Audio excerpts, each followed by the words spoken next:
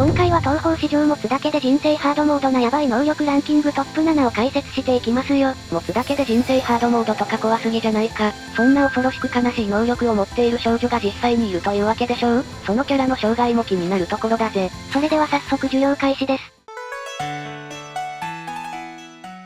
まずはじめに紹介する持つだけで人生ハードモードな能力ランキング第7位は、コメージ悟りの心を読む程度の能力です。なーに、とにゃおい。悟りの能力といえばもう辛い能力の代表キャラでデイレイ高い順位に決まっとるやおね。いやこってこてのぎ不便になってるけど出身関東やろ。確かに持っているだけでハードモード代表ですが、意外と辛くないっぽい能力だと最近判明しました。マジで？一体どういうことなんだ？まず悟りは悟り妖怪という心を読める妖怪で、小明寺小石のお姉ちゃん、もともとは小石と妖怪の山にいたようですが、妖怪としての性質から心を読める能力があるため妖怪や人間からも嫌われるので、地底に住むことに、そしておそらく幻想郷の賢者役もゆかりの命によって、地霊殿の主となっていますよ。心を読めるというのは妖怪と神に強い音量相手に有効だから小明寺姉妹が相性ぴったりということだろうね。地霊殿では心を読んでくれると嬉しいペットたちで溢れ返っているようです。悟りはお姉ちゃん気質だし奥やおりんからかなり慕われている感じがあるよ。ええー、例えば東方水調化最新刊では音量が人里に入ったので、おりんが密かに調査しているところを綾に捉えられた時の第一声は、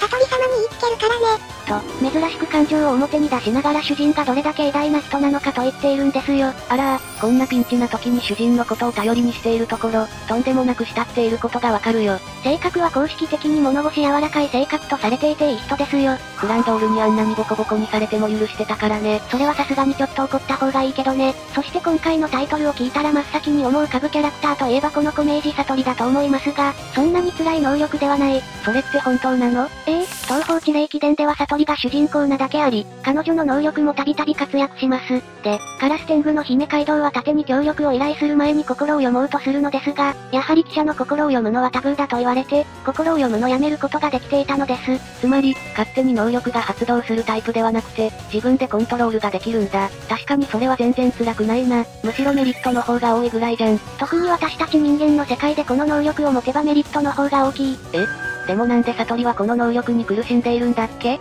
悟りの場合は妖怪が多い幻想郷で住んでいることと、この能力についてバレてしまっているから、妖怪は体は丈夫だけど、メンタル攻撃に弱いので心を読まれるのはかなりの大ダメージ。なので、妖怪の多い幻想郷では嫌われているのね。しかし私たちの世界で使うとなるとバレなきゃそれこそ探偵、スポーツ、メンタリスト、占い師あたりで稼ぎ放題のチート能力ですね。デメリットといえばなんとなく人の心を読んでみたら、人に妬まれていた、みたいな時ぐらいだろうな。そのためめこの順位となりました。そもそも悟りも最近地上に出ていますが、別に嫌われている風に見えませんしね。悟りお姉ちゃん執筆絵で想像力豊かだから、勝手に悪い妄想を働いたのかもな。あと裏の理由としては、エスな目で見られているのが分かってしまうから。霊務部長とか特にそうだもんね。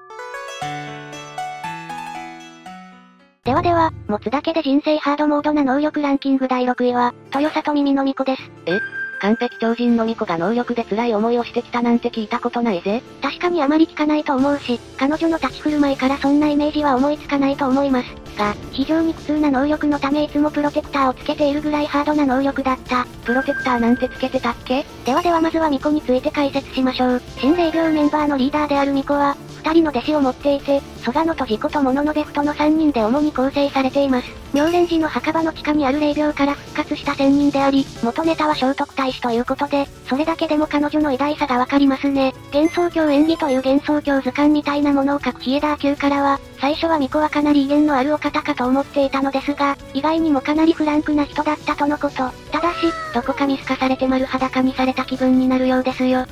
そんな言い方ではなかったと思うぞ。巫女は間違いなくカリスマ性を秘めたキャラだよな。え？えー、部下は非常に巫女のことを信頼していて、トジコとフトはもともと敵同士だったのですが同じ人を尊敬する仲同士関係性もいいらしくカリスマ性抜群ですね。ちなみに元ネタ的に言えばトジコが聖徳太子の妻で、フトがトジコの母親です。越冬人のあるある展開やないか。そんな巫女の能力は、住人の話を同時に聞くことができる程度の能力。完全に聖徳太子固有能力。住人あたりの話を同時に聞き、理解できる能力でありまた相手の銃の欲を同同時に理解することで、相手の本質、過去、未来を知ることができる。ワンピースで言うと、見聞色の覇気を極めすぎた状態にあるってことね。ただしそれはその人が本来持つ10個の欲が全て聞こえている時だけ可能であり、欲がなかったり欲が欠けてい。たりすると余地が歪んでしまうという欠点があります。シンプルで素朴な能力だが、これは天性のものであり、実際には他にも超人的な能力があるらしく生まれ持っての超人とされてい。る。確かに同時に複数の話を理解することってむちゃくちゃむずい。よ。ええインタビューしたヒエダー級は忘れない。能力を待ってい。るが、それは時系列順にしか記憶できない。同時に二人に喋られると、どちらかだけしか覚えられないことが多い。しかもそれも覚えるだけで、理解して返答するとなるととても人間技とは思えないとアキューは言っていますね。毒舌のアキューがそこまで言うなら相当な能力なんだな。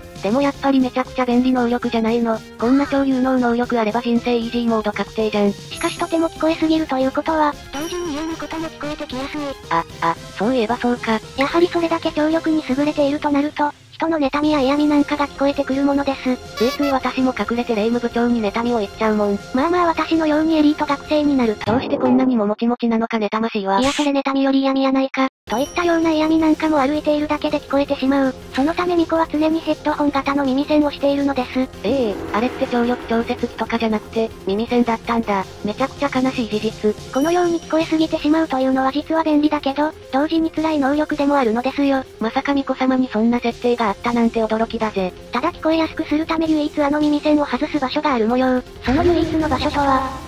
体育前の女子更衣室を通り過ぎる一瞬。いやどこでヘッドホン外してんだよ。続いて紹介する持つだけで人生ハードモードな能力ランキング第5位はヒエダー級です。いやいやいや、ア級の能力ってめちゃくちゃ便利能力でしょうが、むしろ前回の便利能力ランキングに入るかもしれないほど有能でしょ。確かに非常に便利な能力ですが、裏を返せば本当に悲惨な能力でもあるのですよ。まずいろんな解説をしているとちょいちょい名前が出てくるアキューは、東門博士です。この3匹から選ぶのじゃ。アキューは幻想郷演技という妖怪図鑑を作成している人です。ただ妖怪図鑑を作成しているわけではなく、なんと幻想郷の賢者にして、大妖怪である役もゆかりと裏で繋がっている。ええ人里のために妖怪対策として書いているんじゃないの？ある意味ではこれは人里のためでもありますよ。おそらくゆかりと繋がっている理由は妖怪と人間のパワーバランスと恐ろしさを伝えるため、この本が世に出れば妖怪の恐ろしさが広まるので妖怪としても美味しいし、人間側は対策を知れるので美味しい。なるほど、だから最後にゆかりが確認するのか。そんな級の能力は一度見たものを忘れない程度の能力。ああ、なるほどなるほど。巫女の方を聞いたら大体なぜやばいのかわかるよ。この能力は名前の通りで、一度見たものを忘れない。ただし、転生の際に記憶の大半を忘れてしまい、それを何度も繰り返してきているため、前世の記憶はあまり残っていない。元ネタのヒエダのあれが本当に記憶力がいいとされていたんだよな。一見この能力の名前を聞くと、勉強が楽になり非常に有能な能力と思ってしまうでしょう。しかし、やはり一度見たものは記憶に残るので、嫌なものを見た場合、それがずっと記憶され続ける。例えば、よくある道路で轢かれた猫の死骸とか見てしまったらずっと残り続けるということね。先ほど紹介したミコはノイズキャンセリングヘッドホンをしていますが、それを知ったアキューは私もアイマスクをすればいいのかと言っているほどで、やはり彼女も苦労してきたことがわかります。かわいそう。またミコと違って耳栓をすれば対処できますが、アキューの場合はアイマスクをする必要があり、生活にかなり支障が出るのでランキングとして上になりました。結構きついよね。人の嫌な行動を見た時とか、気持ち悪い系の虫を見た時とか、あと何ある？やっぱりあれですな。ハードな同人誌を読んだ時とか、それを持ってきます？続いて紹介する持つだけで人生ハードモードな能力ランキング第4位はフランドール・スカーレットのあらゆるものを破壊する程度の能力です。何言ってまんねん。こんな強力で意外と実用性もある能力、ハードモードなわけないでしょ。確かに今までと違って、デメリットがないように見える能力だけど、この能力はやはり危険なものだけに辛い思いをする。まずフランドールの種族は皆さんもご存知吸血鬼、レミリアの妹で少なくとも495年以上生きています。そんなフランドールの能力は、ありとあらゆるものを破壊する程度の能力。文字通り、物の一番壊れやすい芯の部分を手に引き寄せて何でもぶっ壊す、超危険能力。幼女が持つ能力じゃないでしょ。しかし、やはりあまりにも強力な能力ゆえに500歳近く経っても使い切れていないらしい。東方部門式によれば、破壊の能力を持ち、触れようが触れまいが物を破壊してしまうと言われている。一緒に遊んでも作ったものを片っ端から壊されてしまうので、誰も一緒に遊んでくれないのだろう、とされていて、自分の意思に反して壊してしまうこともあるらしく、友達ができないらしい。そ、そうか、人間ではなお扱ええないだろうし、かなり辛い能力なんだな。そんなことがあればやはり下手をすれば人にその能力が働いてしまうため、人に会うことができなくなる。こういった理由からこのランキングに入りました。妖怪らしく一人を好み、また地下のような暗い場所が好きな吸血鬼のフランだから持てる能力ってことね。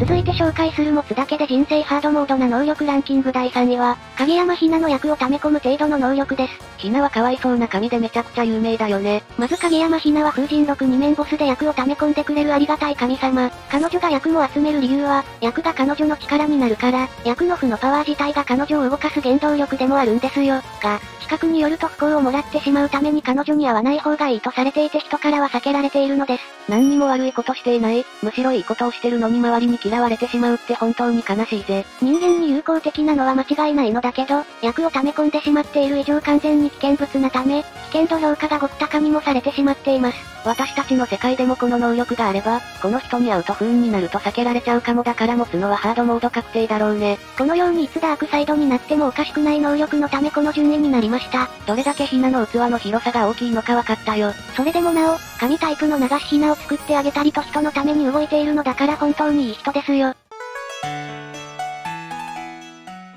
続いて紹介する持つだけで人生ハードモードな能力ランキング第2位は、コメージ小石の無意識を操る程度の能力です。東方ハードモード能力の代表だよね。この能力は本当に薄すぎるヤバい能力ですよ。東方地霊伝エクストラボスの小石は姉と同様に心を読める能力を持っていましたがそれは妖怪や人間たちから嫌われる悲しい能力でした。そして心を読むせいで嫌われることはなくなったが、自分の心も存在感もすっからかんになってしまい誰からも好かれることはなくなってしまいました。これは結局心を読める姉と同様、コミュニケーションを取ることが難しいものだった。しかも姉と違って動物に好かれることも嫌われることもないらしいぜ。能力の特徴としては相手の無意識を操ることで、他人に全く認識されずに行動することができる。たとえ小石が目の前に立っていたとしても、その存在を認識することはできない。なんといってもこの能力が厄介なのは操るとは書いてあるものの実際には操られてるに近いこと。能力自体が無意識に発動しているから本人が同行できる問題じゃないってことだな。これが非常に厄介で、他人に認識してもらいたい状況でも意識してもらえない。薄すぎるな。また性質上、悟りの独身は小石に通用せず、巫女の欲を読み取る能力もまた意味をなさない。用はないものは読まれようがないとのこと。認識能力を持つキャラでさえも見つけられないのにリアルの世界ならなお厳しいだろうね。ただ唯一救いなのは子供にはイマジナリーフレンドとして認識されること。セサミーストリートから来ましたって言って子供に認識してもらえるのね。あとなぜか雲山には認識されました？雲山こう見えて若いらしいからかなつまりはそういうことでしょう。雲山君初太だったのね。もともと小石は心が読める悟りのことを弱いと言ったり、心を読むことなんて何もいいことがないなど地霊伝での際は言っていましたが、霊夢やマリサと出会うことで人間の面白さを知ったのか、少しずつ変わろうとしているところがありますね。無意識にそう思っているということはそれが真実なんだろうな。このように持てばかなり過酷な能力なため第2位となりました。これ以上にヤバい能力ってあるの？それがあるのですよ。上手に石を積む程度の能力が。いやめちゃくちゃゆるふわ能力やないか。続いて紹介する持つだけで人生ハードモードな能力ランキング第1位は、生前採用時ゆゆこの死に誘う程度の能力です。なるほど。それがあったわ。これほどまで悲しい能力はないですね。この能力を語る上でまずはゆゆこの過去を知らないといけない。東方ヨーヨー無六面ボスの採用時ゆゆこの種族は亡霊。はるか昔、まだゆゆこが生きている人間であった頃、彼女の父親は有名な歌人であった。彼は桜をこよなく愛しており、死ぬ時は立派な桜の木の下で死にたいと考え、その望み通りに立派な桜の下で生涯を終えた。しかし、彼を慕っていた多くの者がそれに続くようにその桜の下で死のうとしたため、その桜は人の正気を吸って妖怪ととなってしまい、咲くたびに自ら人を死に誘うようになってしまった。最初に桜の木の下で死んだ歌人の娘採用時ゆゆ子はもともと資料を操る程度の能力を持っていたが、この影響から死を操る程度の能力を持ってしまい、桜の木と同じく人を死に誘うだけの存在となってしまう。ゆゆ子は父が愛した桜が人を殺すだけの妖怪になってしまっていること、自身も同じ人を殺すだけの存在になってしまっていることを嘆きうとんじ、その桜が満開の時に桜の下で自害した。結果、ゆゆ子の体を鍵として桜の木を封印することができたのです。これにより採用が咲いて人を殺すことはなくなり、ゆゆ子が転生でず亡霊のままになっているのね。亡霊となったゆゆ子は生前の記憶を全て捨て、もう悩むことなくヨウムと仲良く冥界で暮らしていますよ。ちょっと仲良すぎだけどね。それにしてもあまりにもハードな能力のため、実際に自害したという事例があるし、この能力はあまりにもハードすぎるな。そんな過去があったとは本当に悲しい気持ちと、同時にその能力と採用の封印のために命を捨てた覚悟に尊敬しますね。あんないつものほほんとしているけど、心の芯は誰よりも強くて温かい人なのだとわかるよ。ちなみに今は死を操ることができるようになり、いつでもどこでも死なせることができ使いこなせるようになっていますよ。いや怖すぎでしょ。それにしても能力との付き合い方が意外な情報ばかりでめちゃくちゃ面白かったよ。私たちもハードな能力を持っていようと懸命に生きる彼女たちを見習っていきたいところですね。さて、今回はここまで。視聴者さんが思う人生ハードになるだろう能力があれば教えてくれよな。また逆に人生チートモードになれる能力も紹介しているので見に行ってみてくださいね。それではここまでご視聴ありがとうございました。